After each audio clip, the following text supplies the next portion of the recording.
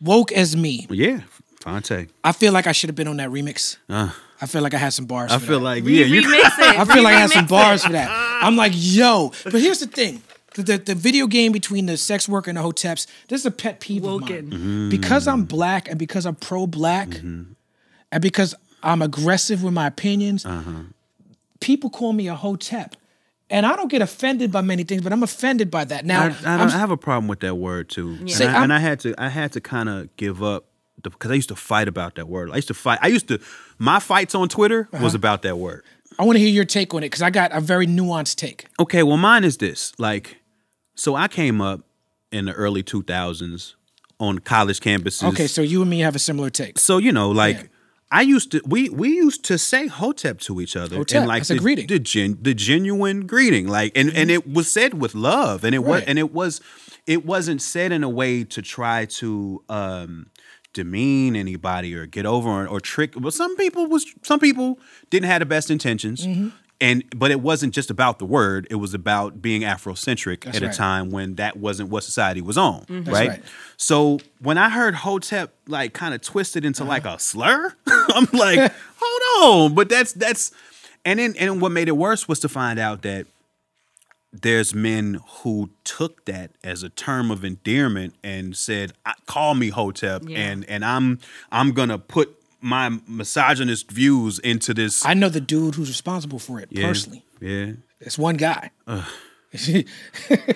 so I agree with you. I grew up Hotep is a positive thing. Yeah. I grew up listening to Gary Byrd on WBAI. Okay. He used to call himself uh, Imhotep Gary Byrd because he was fascinated with Egyptology and, and the scientist, mathematician Imhotep. Right. Always a positive thing out, out outside of the inside of the Afrocentric Right. academic community. Right.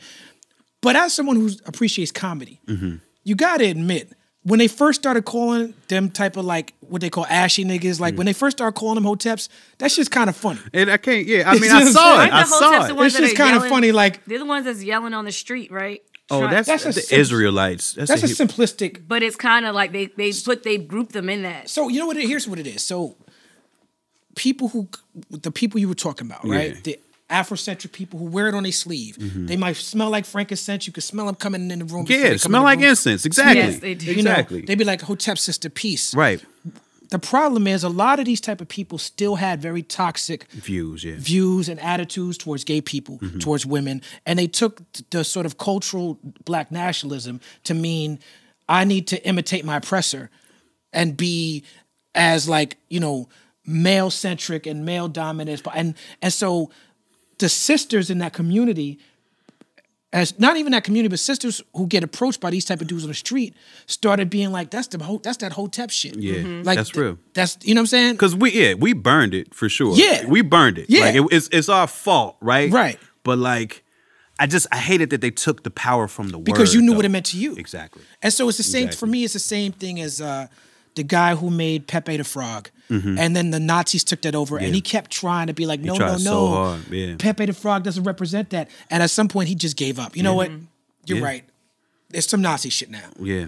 Um, and so that's for me what Hotep became. Mm. Um, but those people before, so this guy, you know, and I'm not even giving say his name on my show because he doesn't deserve that. But his story is worth telling. Hmm. There's a guy. No, fuck it. I'm gonna say his name because it's not as good without his name. This kid named Brian, who called himself Vibe High on Twitter. Okay. And I saw a video where he was burning his Jordans. And he made a very eloquent speech about why we shouldn't be supporting Nike. And I got Nikes on. I'm, I'm still black. You know what I'm saying? But I felt him. Mm-hmm. Right, You know what I'm saying? right, I was like, right, right. yeah, I, I fuck with that. Okay. Started following him. And he had some positions I thought that I agreed with. But then he started dissing Black Lives Matter Mm. early, like in 2014, which is a very it was a very popular thing to do, right? And there's some there's some valid criticisms to be made about how activist work is rolled out and presented Sure, in public space. sure. But his crit- critique of them was they be on that gay shit. Right. That's his main See, critique. that's- you know what I'm saying? And so I didn't realize that was his critique. I liked him as an activist. This is when I was going to Ferguson back and forth, Mm-hmm. and I'm having these meetings, and I'm I'm trying to bring the community together. So I invited this man to my home, sat him down. I'm like, "Yo, the way you be going at the sisters from Black Lives Matter, like we all in this together." He's like, "Yeah, but they be on that gay shit." And you know what I'm saying? I'm like, I realized, oh, this is a bigot. Okay, so I have to deal with him differently. Right. So we we agreed to disagree, and I was like, "Look." Because I'm cool with you and I'm cool with them, can you just not publicly talk shit about them? Mm-hmm.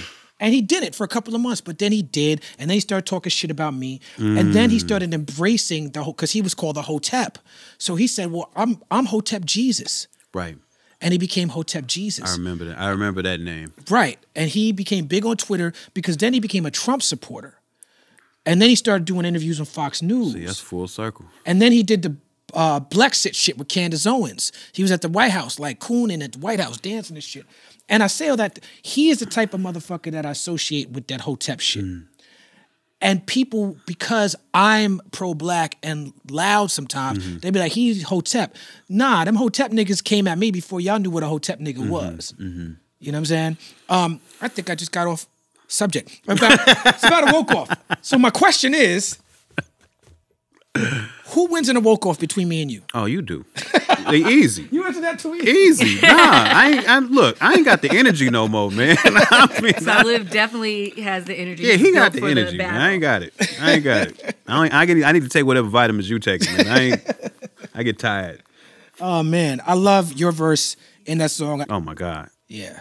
You know, in the way we did them songs, man, like, cause I had to have, I had to have the song mostly written because it's for TV, so we had to have Mm-hmm. Yeah, videos yeah. playing and everything. I had to have the songs mostly written before we even started shooting the TV. So like, Mm-hmm. you know, I did my half of that verse. I mean, my half of that song in the hook, and then you know, sent it back to him. And I mean, like, it couldn't have sounded more perfect. You know what I'm saying? Like Mm-hmm. for like his his verse is literally the one he sent us. Like, you know what I'm saying? And he, He- came he out here. and- it. yeah, like first try was it was it was just perfect, absolutely perfect. No doubt.